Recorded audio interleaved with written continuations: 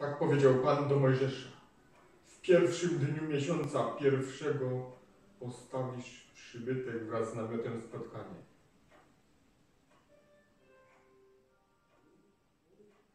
I umieścisz w nim arkę świadectwa i nakryjesz ją zasłoną. Niesiesz także stół i położysz na nim to, co ma być położone oraz niesiesz świecznik i postawisz na nim lampy. Ustawisz również złoty ołtarz do spalania kadzidła przed arką świadectwa. Zawiesisz zasłonę wejścia do przybytku. Ołtarz zaś całopalenia postawisz przed wejściem do wnętrza namiotu spotkania, a kać umieścisz między namiotem spotkania a ołtarzem i napełnisz ją wodą. Urządzisz też dziedziniec dokoła, a przy bramie zawiesisz zasłonę. Wtedy weźmiesz olej namaszczenia i namaścisz przybytek oraz wszystko, co w nim jest. Poświęcisz go i wszystkie jego sprzęty i będzie święty.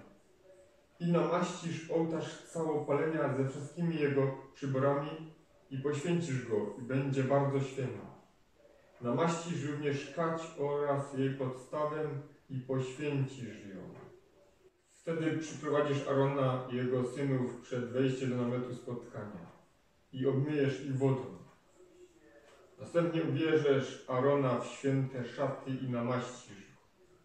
I poświęcisz go, aby mi służył jako kapłan. Każesz także przybliżyć jego synom i ubierzesz ich w szaty. Potem namaścisz ich, jak namaściłeś ich ojca, aby mi służyli jako kapłani.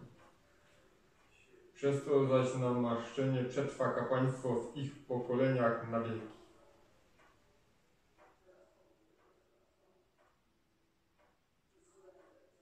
Mojżesz wykonał wszystko tak, jak mu nakazał Pan. Tak wykonał.